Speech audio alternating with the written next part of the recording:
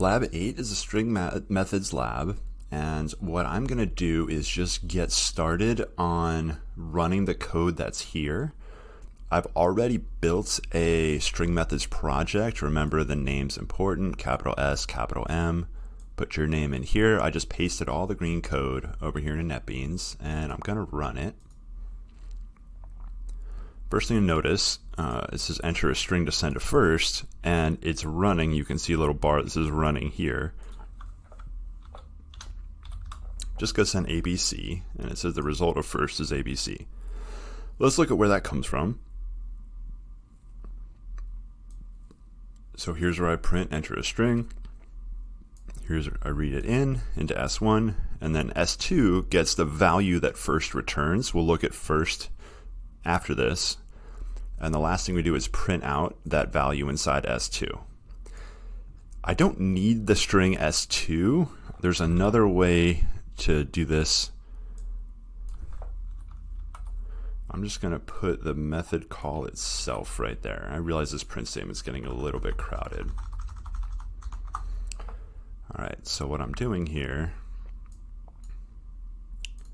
I'm printing out the results of. Now, first is inside the string. S1 is the actual value you entered, and then the result is concatenated with whatever first returns to us. So let's go ahead and look at what first returns. Now, if I put the cursor over first, it highlights in yellow, and it will highlight every other occurrence of the first method. Remember, first is a method because it's followed by parentheses. So let's go look at the first method. It's right here. And look at that. It returns just an empty string. Uh, let's return the letter A instead of the empty string. It's much more exciting. Run it again. I'm going to type ABC. Uh, now, what's first supposed to do? Return the first letter of S as a string. Here's the string S. Uh, and look at that, we sent ABC there and it returned A. So it looks like everything is working great. Let's go ahead run it again. I'll send it my name. So it should be looking at a C, but the result of first is A. It should have picked off the first letter, which is C. Uh, I don't have any code in here to pick off the first letter C. It always returns A. Let's go ahead and make a string. Now this string, I could just set it to A and then return result. Uh, however, it's going to function exactly like it did before.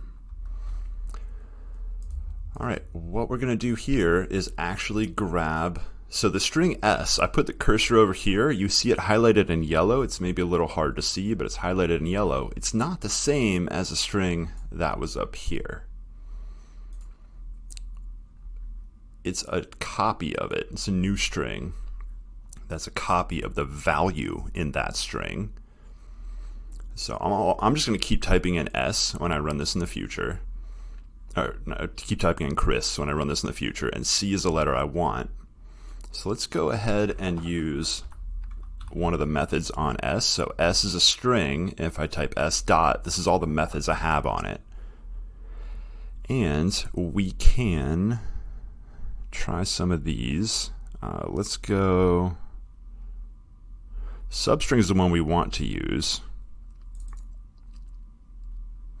And I totally, oh wow, it's taking a long time. All right, very exciting part of the video. Okay, wow, that was a long time to just put out that right there. All right, so that's a substring that starts at the begin index right there.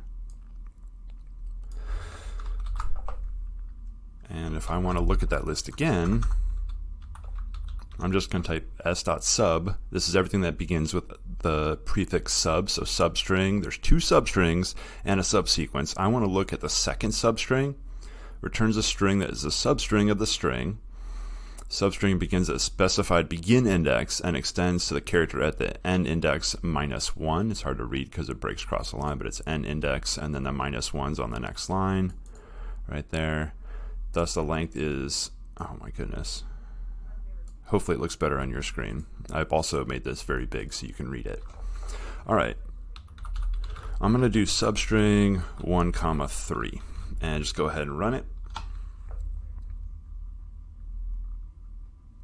I'm running with F6, it saves automatically. All right, so this grabbed the HR, which is right there. Now what I'm going to do, I'm just going to keep using Chris because I want to be consistent here. And I can look at the different uh, positions of the characters. And it's going to start at index 1, which is, here's 1, the H is above index 1, which is exactly the first letter we got out. It ended at index 3, which is the index for I. However, it actually ends at the index minus 1, so it ends here at R. I'm going to just try to grab the H. So we're going to go from 1 to 2 and run.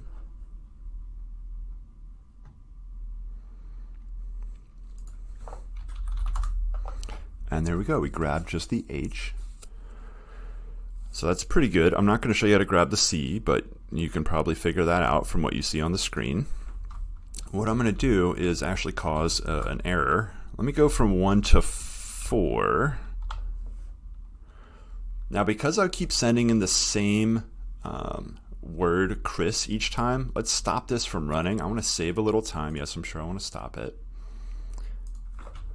All right, I'm not going to ask for input. I'm just going to set, I'm going to hard code in that S1 is always going to be Chris. And then when I'm done testing, I'm going to uncomment out this line and I'm going to delete this line 23. This will just make things run a lot faster. I recommend doing this. All right. And because I'm missing a return, um, uh, let me go ahead and add that in so it's more readable. F6 to run. Right, so the result of is HRI. So if I want to grab everything to the end, I have to go from 1 to 5.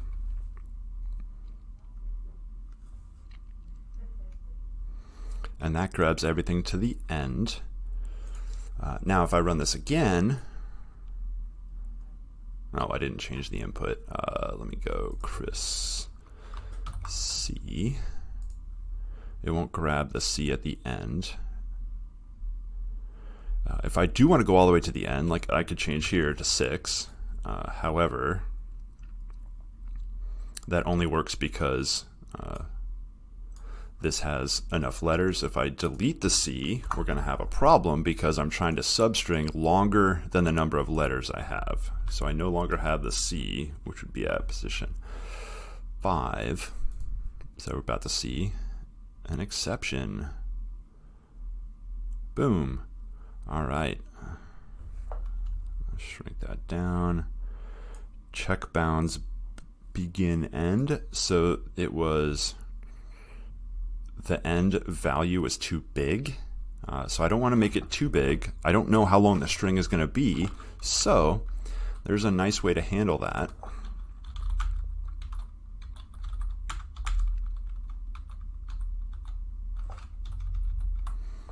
I'm going to create a variable called length. And I'm going to just use that value right there. So however long s is, it's going to use that many characters. So I sent in Chris, and look at that. Boom, it got HRIS from Chris all the way to the end. Let's go ahead and add a C, run it again. It's going to go all the way to the end. If I have a bunch more, longer word.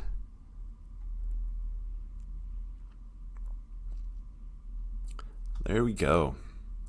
Okay that should get you started here and this length is what you're going to need when you come down and properly do last.